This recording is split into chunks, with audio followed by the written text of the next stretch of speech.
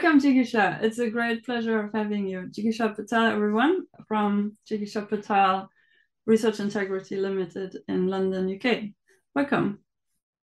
Thank you. Thank you for having me here. It's a pleasure. It's a great pleasure indeed. And um, for you guys out there, um, so the way I met Jigisha was actually on LinkedIn when I saw one of your um, infographics being shared about how to inquire consent by patients for medical researchers.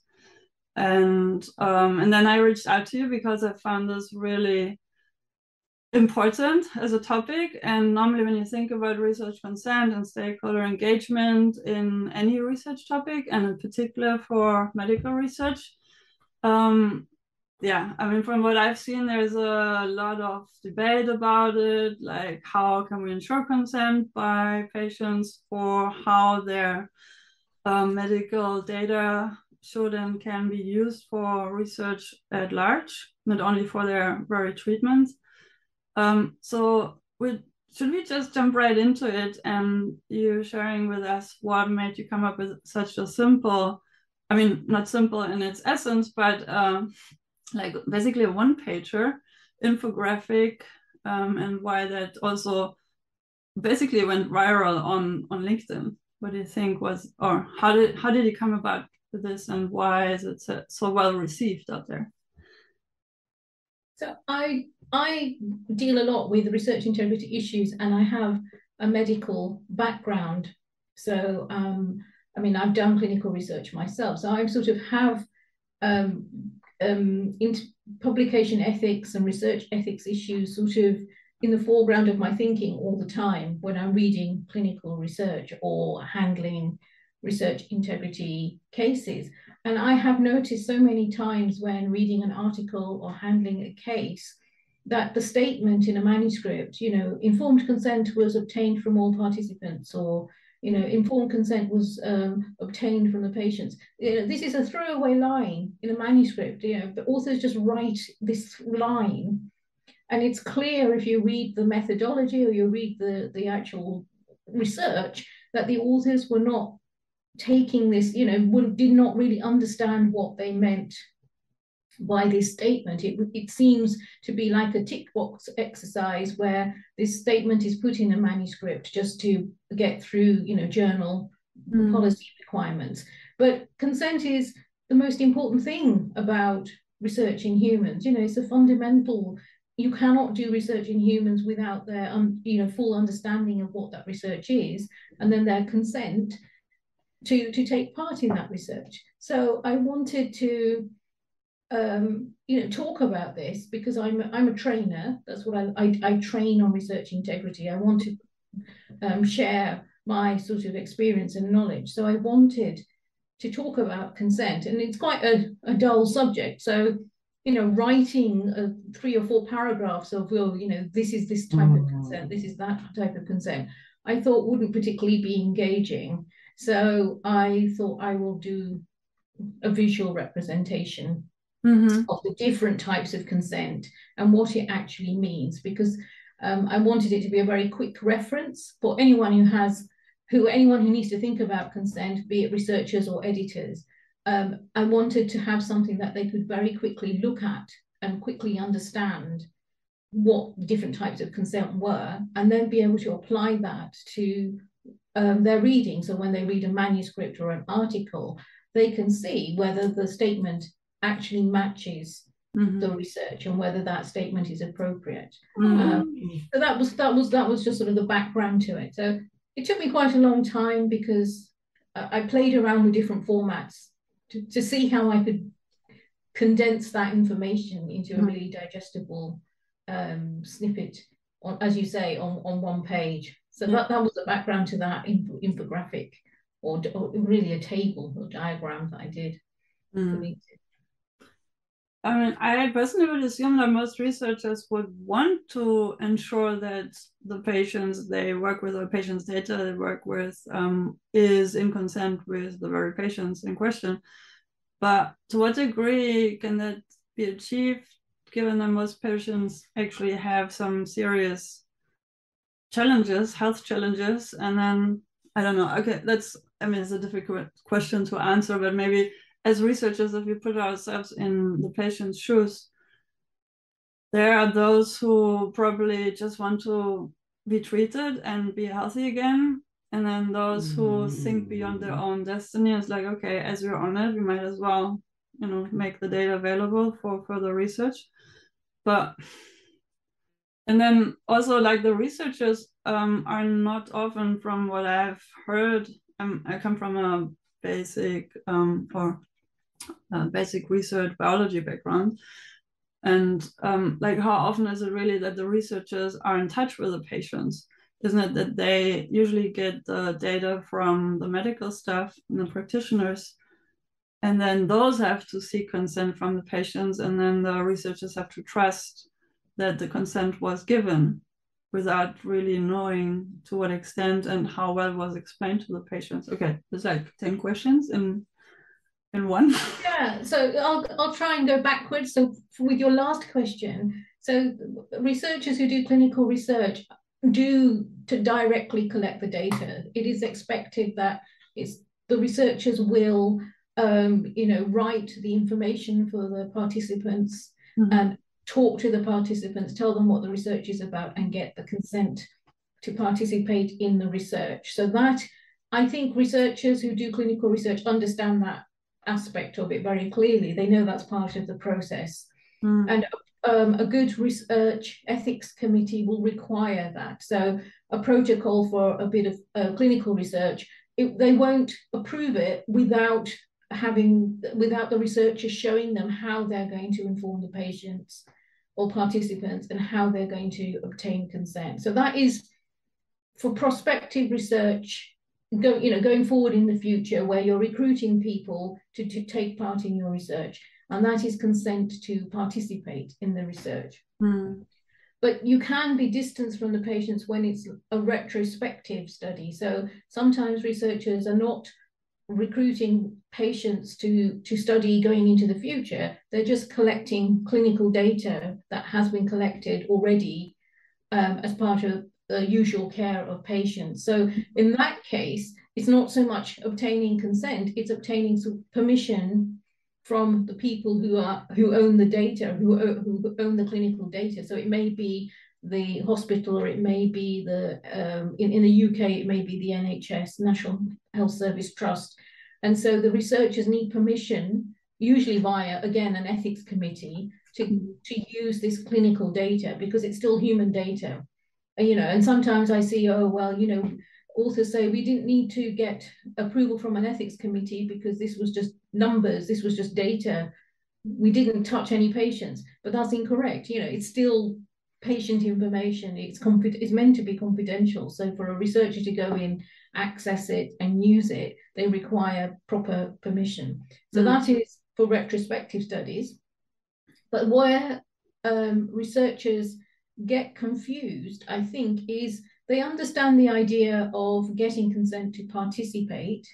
Sometimes they confuse that with consent to treatment. So, mm. you know, they will say, oh, the patient consented to receive this treatment and think that is enough, but that's not enough. That was the consent to actually be treated for their condition. You know, it wasn't consent to take part in any kind of research or have their details um, published in a case report. No. And then the other type of consent that they really don't are unaware of. I mean, this is not because researchers don't want to do the right thing. I think they just don't understand mm. is the consent to publish. And this ties in with, you know, regulations on the right to privacy, because it's very easy um, these days with the internet and everything that, you know, only a few details about an individual are needed to be able to trace back and find find their identity. Mm. And people have the right to privacy. They have the right to remain anonymous. And so consent is needed to publish details that might identify them. And this applies to case reports where, you know, a person's age and a person's gender or a person's clinical, you know, their medical condition, maybe photographs, things like that get published. Mm.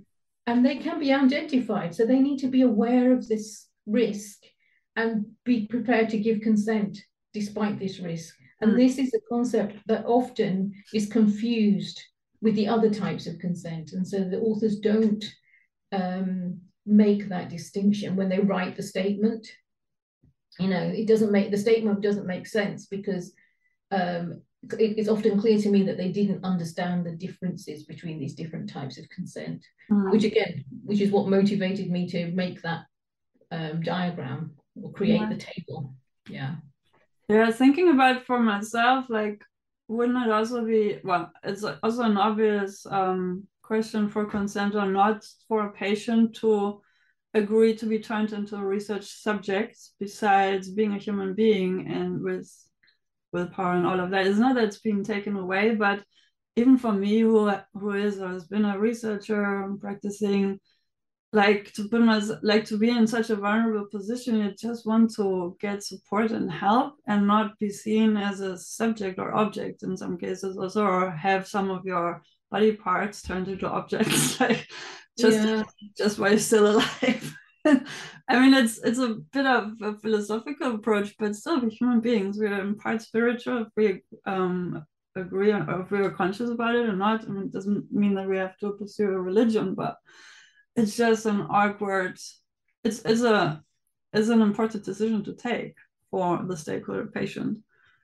And even if the the potential benefit for other patients is obvious but still it's like it's almost like agreeing to donate organs in a in a way. Mm. it is a way of organ donation as well just in in numbers but still i mean the data is coming out of our organs. Um and that's not necessarily uh, a decision that we take with pure ratio but we also put our feelings belief systems and everything into it. So therefore it's i think especially cautious and respectful or respect and caution is needed on the researchers side who who of course have an interest to learn and to acquire knowledge and i often think it's for the greater benefit. But then to what extent? And to what ex- expense as well um, so yeah, I agree. It's super.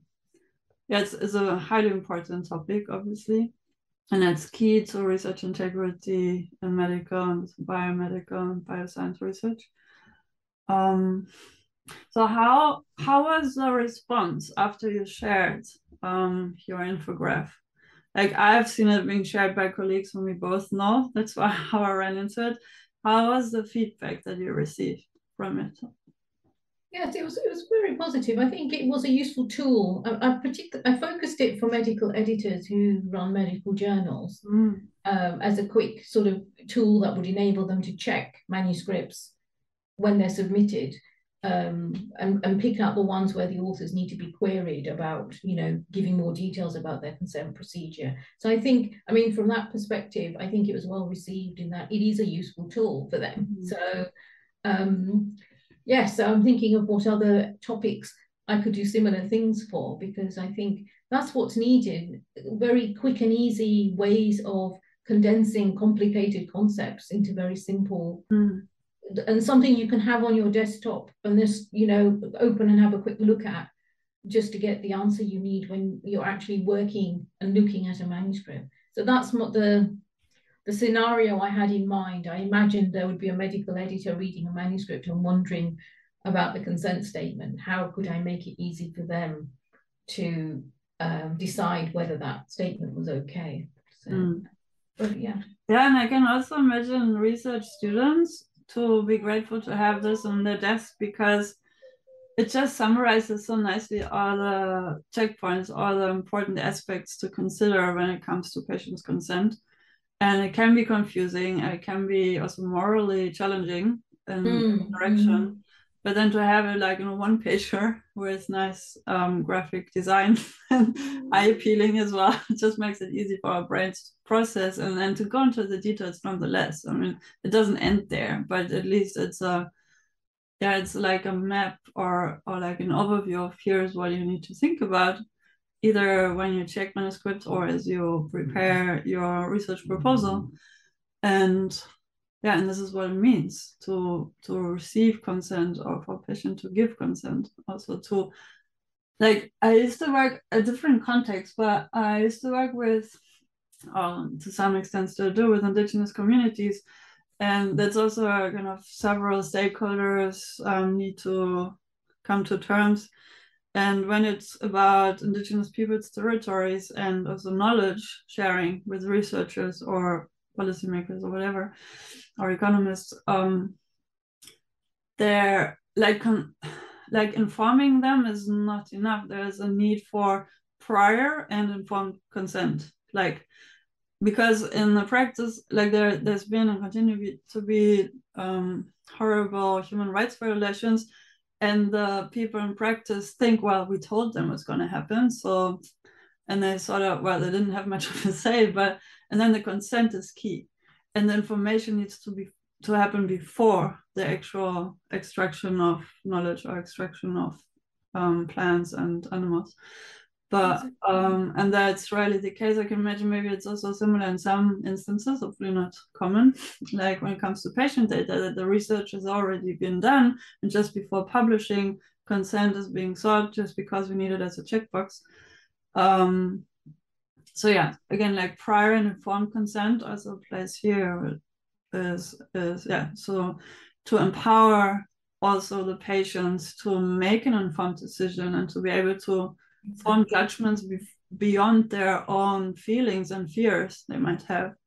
But to really see the bigger picture of the research question and that it can actually that it has a good chance of of bigger benefit for themselves and others. And i think that's also when consent can be given more easily by many patients as if they were like, oh, we have a research project and you are you have the honor on contributing your data to it. like like I, I would feel awkward about it. Like, okay, what kind of research? What what are you actually asking? And it's not enough to say for the sake of science and just because we can learn things we don't know about just yet. But really I think it also calls for a proper research proposal and contextualization, what kind of patients' data come in and what's the expected outcome. I would suspect that's often the case, but also knowing how research can go, especially basic research, sometimes we don't know ourselves. And then it's probably also important to let the patients know, like, we don't know what we can find, but we hope to find this and that. And it's probably good enough of a reason for them to agree. Mm. I think you touched on a lot of really interesting points there. I think you mentioned respect, which I think is paramount.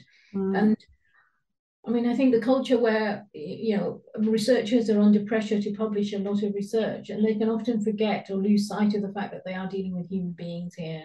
Um, you know, because they're so keen to get the get the numbers, get the numbers they need for their power calculation to do their research, and they forget that they're actually recruiting human beings, and they need to sort of um, always bear that in mind.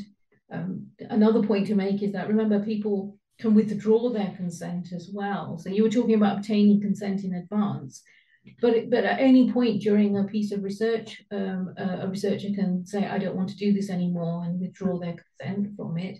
But even after research has been published, for example, in case reports, if an individual's individual details are published and they gave consent to do that, so that it was published, they can still withdraw their consent and there have been cases where publications have had to be retracted because the individuals have said, I no longer um, want my details to be published mm. um, out there. And then the, the other point you made about why researchers take part in research. I think when there's when there's research into a, a, medical condition or a clinical condition, often the, the, the, the patients and participants with the condition are uh, you know, don't want other people to go through what they've been through. And that's why they're motivated, is very much because they want to help the next wave of people who have that condition get better treatment. Um, it's often harder to um, recruit healthy people as the control group because they're asking, why should I do this? I'm, I'm being put at, at, at risk. So they, for them, there is very little personal benefit. Mm. Uh, so there's a very big disparity between not, uh, healthy people taking part in research and people who actually have medical conditions. The people with medical conditions are probably more likely to want to take part. Mm. And also for them, there might be a benefit if they are start if they are research part taking part in research that involves an experimental intervention uh, maybe a new drug or a new technique, they might even benefit from receiving that new drug or technique. So mm. that's why um, people are motivated to take part in research as well. Mm. But, but I think the bottom line, as you said, was the respect for the respect that these are human beings and it's very hard for researchers who are under pressure to publish a lot mm. to get research done to um, remember to remember this and you know remember they're dealing with humans so mm. Yeah i'd like to continue on what you just said what does publication pressure do to research integrity in your um yeah in medical research where you're um mm. kind of uh, familiar with mostly it's the driving force in most cases I mean, why do why do authors plagiarize? You know, so that they can get a quick publication without having spending time to do the research. Now, a lot, some of a proportion of those people would have done that regardless of the research research culture because they're just dishonest people and they don't want to do the work. But a significant proportion are also under a lot of pressure to produce publications because their jobs depend mm. on their research output, which is measured you know, in terms of number of publications um, that they have. So there's that issue. Um, and then the other um, driving force is because researchers are under pressure to publish, then other people can exploit that situation by offering services like um, editing, um, not editing services per se, but services that look like editing services, but are in fact paper mill services, which are offering to just publish, find fabricated papers, sell authorship, and then publish those. And those people are exploiting the fact that the researchers are under pressure to publish. And the researchers are under pressure to publish because they are assessed in terms of how much they publish. So there's this whole sort of the whole system is set up to drive research misconduct. You know, that's why people do it. Yeah, there was a, yeah. There was a campaign a couple of years ago, I think it was in 2015 or 16, by a colleague here in Germany. She's a um, it's hashtag bullied into bad science and basically addresses the publication pressure, publish and perish. Actually, also, it doesn't mean that the more you publish, it doesn't mean that you get um, the more cited. The, the contrary is often the case, but um, or country or it's it's yeah it doesn't guarantee that the more you publish you also get more citations. So which actually we want and that's the whole drama i think also with the current setup of the scholarly publishing industry. Is like we're we're pleasing journals we're running after prestige journal names um, mm. where the essence of what we do is really to disseminate knowledge and we have colleagues but also other society stakeholders look at our results and challenge our integrity. I mean in the sense that like you know to to seek feedback to um to continue the conversations to learn from and with each other. And that's hardly possible in the current system that we've brought ourselves in um, and why is it like I, I don't know if you or anyone has an answer, but why is it that researchers also fall in the prestige trap? Is it because we're human beings as well? Probably. Oh, I think so. But I think the culture has, you know, historically been like that. When you think about um, mm. how science evolved, it, it evolved from these people who had the time and the money to potter around and make these discoveries you know, in the 19th century, and then it was their names that are known and remembered because of their great discoveries.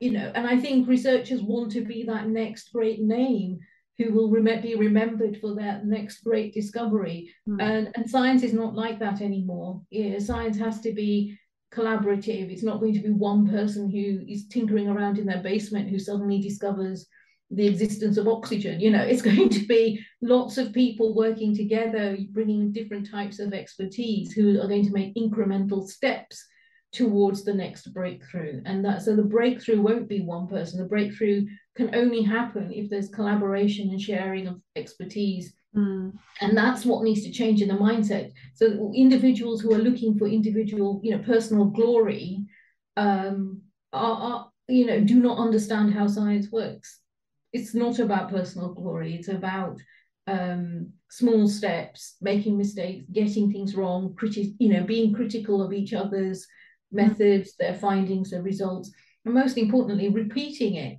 uh, repeating other people's results, finding the same findings. That's how science is validated. It's all about you know repro- reproducing other people's results to show that it actually you know is valid, and that's the way the culture needs to move and shift towards away from personal um, glory. Mm. But I, I think that in, in, in the mindset of some researchers, um, that ideal is still what they're working towards, Mm. which is because historically it's been like that. Yeah, and it's being enforced year after year. We're currently in the week of the Nobel Prizes. Yeah, yeah. Where individuals are being celebrated and applauded for their achievements, and everybody who is a researcher knows that we are all standing on the shoulders of giants and are nurturing from other giants or dwarfs, doesn't really matter, but we're in this together, and there's Mm, no success mm. for individuals unless we collaborate. Um, and yet the yeah so i was also an admirer of the nobel prize and of course i think every researcher also graduate students they play with the idea oh maybe one day it's like is, is first the nature paper and then the nobel prize like really? Um but that's also what we hear is to be strived for and yeah i don't know. But why can't we as researchers you think we are um, also educated to be able to appreciate that be uh, content with having the the privilege actually to and some Mm. people say that out loud like what a privilege to be paid for like constant curiosity and explorative mindset where other people ha- are doomed to execute whatever they're being asked to do but we can actually keep asking questions and Mm. and nurture our yeah explorative mind and and an urge and i think that's also almost like what people are what we as humans might be here for on this planet to to do for a lifetime to get to know ourselves but also our environment and to to share that knowledge and and be appreciative of the beauty of nature and whatever research topic we look at and into. And isn't that enough of a fulfilling uh, thing to do on a regular basis. But then also maybe these prizes and awards and publications are also milestone achievements, which make it endurable because some people, including myself, can also be highly frustrating to keep uh, doing experiments and Mm. Mm. dealing with constant um, disappointments and frustration, and then only once in, uh, in a few years have this breakthrough moment where you celebrate with your colleagues. So I don't know. But it's part of the game, I suppose. But it's interesting to think about and question some of the statuses and the the the stepping stones that we've established in academia. Well, I guess it's also how the reward. I mean, rewards are um, are given. So as as you mentioned, it's the Nobel Prize is you know, an individual prize, but that could be a, a team. You know, that could reward teamwork in a in a better way, couldn't it? So or or or, or work that strives towards improving the research culture, that strives towards collaboration and data sharing and um, reproducing other people's research. If the rewards um, shifted towards rewarding the behavior that we want, then that would have the knock-on effect of changing the current culture. So then there needs to be a big, you know, shift in in how the re the reward and assessment system works to change the behavior. Um, and you can still get a kick out of making your discovery, you know, but it wouldn't be a personal just I did this kind of thing. It would have to be nobody's going to make a huge discovery on their own. Yeah. Yeah. Because the, the science, as I said, science is not like that anymore. It's not about individuals um, playing around by themselves in their in their in their basements or back gardens as it was. You know, this is how the great names in science made their discoveries, but it, that's not what's happening now. Everybody has to have help and collaboration um, in order to to do science, and any new fantastic discovery that comes in the future will be the result of many, many people's contributions.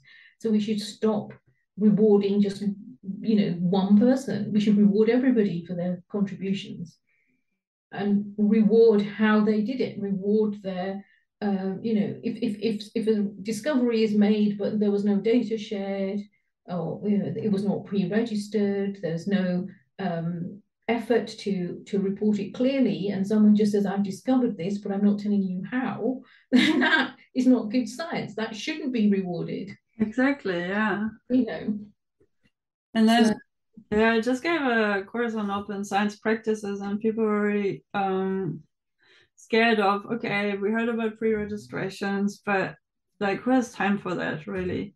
And isn't that like such a high demand for time investment before you even get started with the research and instead of actually doing the work? And then i, I mean knowing from experience if you don't do that you lose a lot of time towards the end of the research. Documentation is key as painful as much of a pain in the neck it actually is like also mm-hmm. from myself.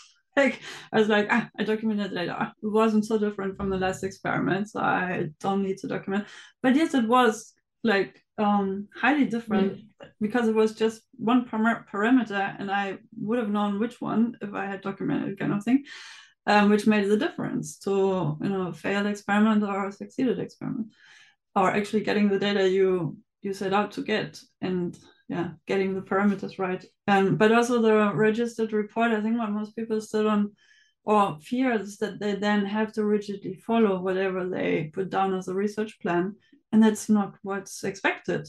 But the research plan is just actually to have a plan to knowingly um, get yourself into the methodologies to make an assessment before and how much time and money and equipment and materials you would use and especially medical research when it comes to animal research do you really need 5000 or 500 mice or can mm. you can you do the same with 50 and that's a moral question to ask and we're also talking about um uh yeah i mean what is the vertebrates here so they have feelings and fears and um, pain and and we don't have to put so many of them through if we just plan thoroughly before we can get started or patients data um like we could also probably use just uh, 20 patients data sets instead of 500 if we make a thorough plan.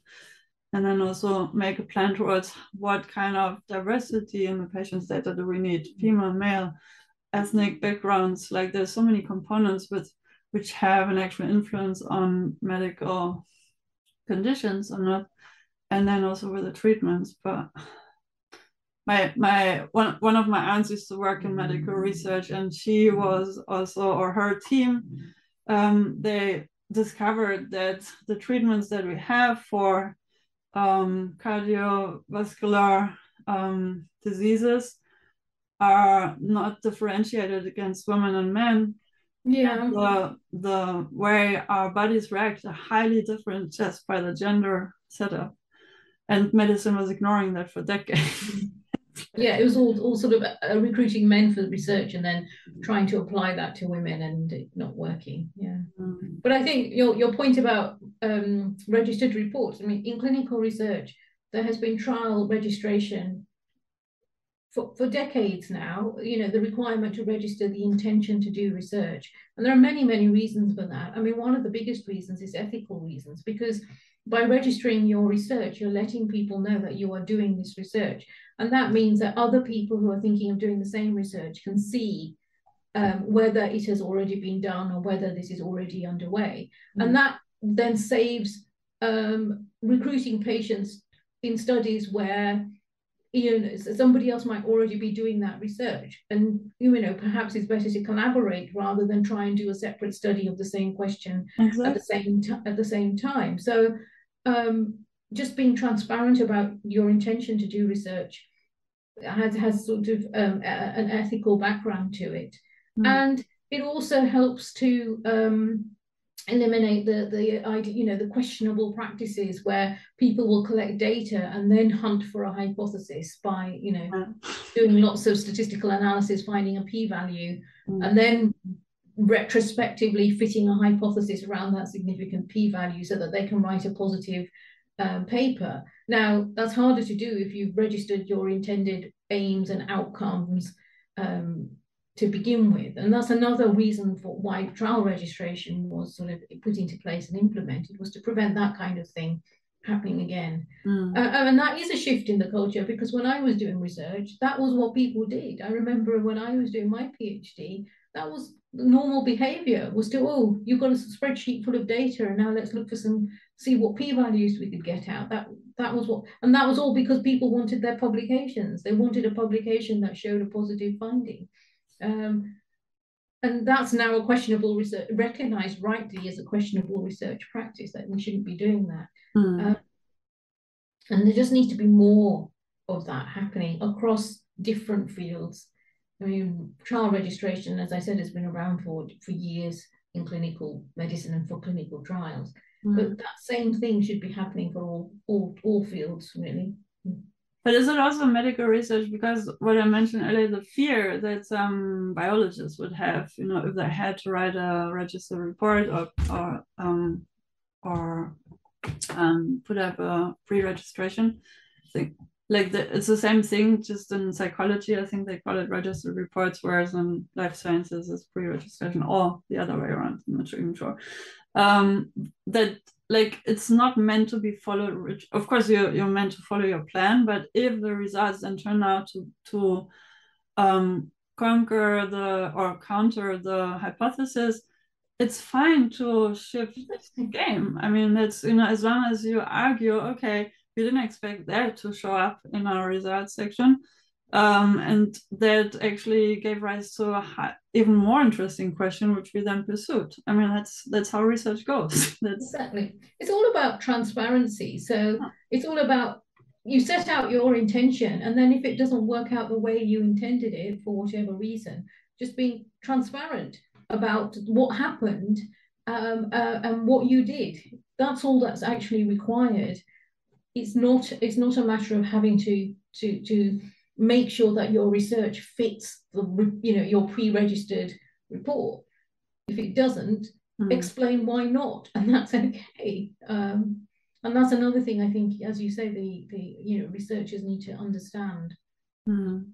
yeah and or can also happily embrace and not fear that what they think would be morally agree or yeah better is actually good scientific practice and whatever else is they're being told is malpractice and mm-hmm. should avoid it. Um, I would like to for us to maybe come towards I could go on on this for forever, um, just in the interest of time and also like I often say, you're most welcome back um, for mm-hmm. further discussions on other topics and related topics as well. Um, but to conclude in this conversation, as we've just been through peer review week in September, um, and you had a few events there or presentation here and there. Um, so what in also in the editorial process and where you specialize in with your trainings and courses that you're developing, what role does peer review play and how uh, obviously for um, for quality assurance. But yeah, what are the, the key discussion points that keep you hopefully not awake at night, but that kind of are important to you to get across to your to your clients, to to the mm-hmm. research stakeholders, both editors and researchers? Yeah, so uh, so going back to so, peer review week, I did do um, some presentations. They were mostly related to research integrity um, rather than peer review. So I, I did some, um, um, I moderated a session from COPE on paper mills. Um, and then I also did um, a session for COPE as well for, um, you know, how to manage, um, how to get started with research integrity for Great. Yeah, we so, can share what COPE is for those who are not familiar. There's a committee of um, Committee on Publication Ethics. So it's yeah. It's a, That's a long, complicated name. It's not always on the website, but it's yeah, it's all about publication ethics and publication. So it started off. Um, it was started off by a group of medical editors who were noticing that in the submissions they were receiving, that you know there was odd things happening, misconduct, and they started talking to each other and saying, "Oh, is this happening on your journal?" And then they formed a group to support each other and sort of discuss how they will handle these cases. Mm. And from that, this whole committee grew up, starting off initially with um, journal editors as members. And the idea was they could support each other when they came across research integrity issues, um, advise each other on how to handle such cases. And now it's grown into an international organization that um, is it, it provides support and advice for editors and publishers, um, and is also now opening up to institutions as well, and provides lots of guidelines and training and mm. um, educational material. So I am a member um, of the council on this in this committee, and so I often do talks and things related to research integrity as a representative of COPE. Mm. So that's what I do quite a lot of in peer review week, talking about research integrity for editors um, and particularly around paper mills. But I did um, I did do um, a blog post on peer review as well and where that sits in context of research integrity. And I think the, the problem with peer review at the moment is that it's seen as a quality assurance mechanism within the manuscript processing, you know, workflow.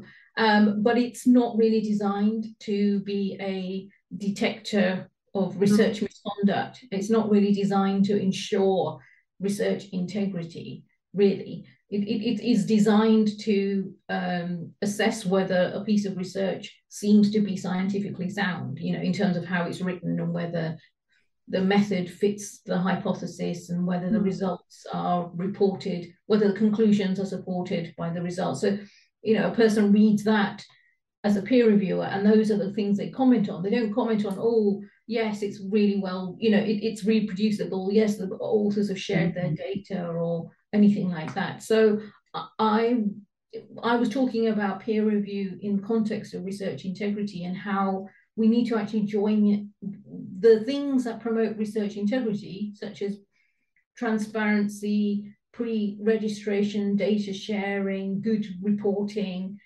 We need to join that up with what peer reviewers look for. Mm. Um, so that peer review can then support the right behaviors that we want to change the research culture. And we think of peer review as um, peer review is often done for a journal, for a particular, you know, the peer reviewer is doing it for the journal editor. And we need to think of it in a bigger context. You know, peer review, regardless of whether it's for a journal or a preprint or some other reason, peer review should be about looking at a piece of research and thinking, has it been written in a way that allows it to be validated in the future by being reproduced? Is there enough information there? Is the data available? Um, are there any is there any evidence of questionable research practices? So it's changing the whole focus of peer review. Mm-hmm. I think I mean that's what was I was arguing um, in my in my blog post in peer review week. So that's what I think mm. about peer review research integrity. Yeah, well, also, if, if you agree, um, add the link to the blog post to the oh, show. Thank you. Yes, that would be great. Yeah. Um. So yeah, excellent. I mean, you, we talk, I think also again, like we said earlier, most, if not all, researchers set out to conduct good scientific practice and yet we find ourselves in a system that challenges that um, mm. that kind of lets us or forces us to some extent set aside our values and moral standards which um, should guide and and really be the baseline for our activities as researchers um, yeah maybe um, like what what are you not doing as a trainer and consultant with your own business to well, basically on your business name is Jigisha Patel um, Research Integrity Limited. So obviously research integrity is, at, is the cornerstone of all your trainings and activities in that position now. Do you have like a vision of or or yeah what what are your what is your approach and how do you okay so like one from one entrepreneur in the scholarly system to another I just, yeah, it's, it's just what's difficult my, sort of ask that question. What's, what's what? Yeah. What's my mission? I guess what's your business model. what's your yeah? What's your mission? What's your vision? My mission. so um, when I started as an editor, research integrity as a concept wasn't really, it didn't really exist. You know, research, well, science was sort of all based on trust and everybody accepted everything that was submitted to a journal at face value. Every, you know, the authors were being honest and everything written was true. And uh, research integrity or research misconduct wasn't really recognized as a big issue or a big problem.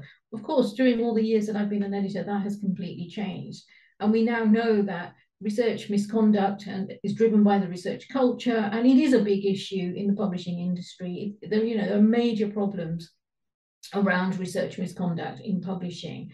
And so part of my mission is to elevate the ex expertise in research um, integrity for editors so that they receive the training that they need to be effective in managing um, research misconduct issues that they, they come across. And, and to help them to give help give them the, the, the knowledge, expertise, and confidence to be able to deal with these issues, because that's what's lacking you know, scientific um, academic editors have the academic expertise, they're, they're, they're experts in their field, but they don't get the training that they need to manage journals when, when, when their journal is affected by research integrity issues. And so that is the focus um, of, of what I'm trying to do. And, and in related to that, I have created um, some training for ed editors and publishers because that's the other big um, issue that I've seen is that editors and work publishers work together, but they work in parallel. They see themselves as sort of very different roles. And, and but but when it comes to research integrity, both editors and publishers are, are equally responsible for maintaining research integrity, and therefore they need to be more collaborative and work together um, to, to manage research integrity issues in their journals. And so I have created a course for publishers and editors on how to develop a research integrity strategy for their journals, even if they've never had a problem with research integrity before. Mm. It, it's it, the course helps them be prepared because sooner or later they will have an issue because it's so widespread now. Sooner or later, every journal, every publisher will have a research integrity issue, mm. and so this course helps them to be prepared, helps them to form a strategy that allows for collaboration as well and addresses some of the sort of common barriers that I've seen. As I said, you know, I've dealt with thousands of cases and I see the same issues crop up that complete keep on blocking the efficient management of a case. You know, all sorts of things happen that derail the investigation of a case. And I'm sort of trying to teach people how to know about these things, preempt them and be prepared for them so it all goes smoothly. So mm. yes, yeah, so that's my that's my current current mission at the moment, as well as helping anyone who needs help with researching, managing research integrity mm. um, issues in, in publishing. Yeah. Wow. Okay. I'm Glad we have you on the market in this in the in the ecosystem. Um, thank you so much um, for for sharing your wisdom, your experience, your um, advice also and and yeah for that one infographic which you can see in the blog post and the images or links attached. And yeah welcome back anytime soon whenever you have something else you want to share. Um, and we certainly stay in touch as we've already agreed. And welcome back everyone to to the show. And yeah um wait your your website you can also like what's the name of your website again so people can find you it's Jigisha Patel, all, all one word, and then um, dash ri.com. Oh, okay. So yeah, we also link that in the in the show notes and in the affiliated blog post with more um yeah, also your LinkedIn profile where people can get in touch with you when they want to seek your advice. Thank you so much. Thank you, Jill. Thank you so much for inviting me. It's been an absolute pleasure.